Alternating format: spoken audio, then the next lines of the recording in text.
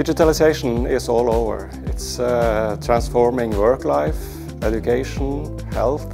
So there are many new processes in society that need to be researched of how digitalization are affecting society and vice versa, how society is transforming digitalization and developing new digital solutions in education, for instance, with uh, new devices, iPads in classrooms, and uh, how does that affect teaching and learning?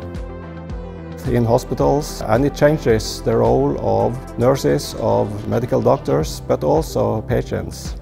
Digitalization and Society is uh, an interdisciplinary PhD program where we bring together a lot of different academic disciplines, uh, making robust communities of research but also dynamic and creative processes.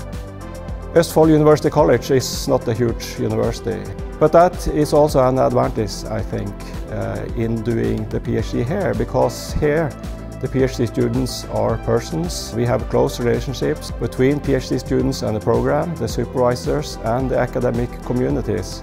It is a PhD program which is both personal but academically excellent.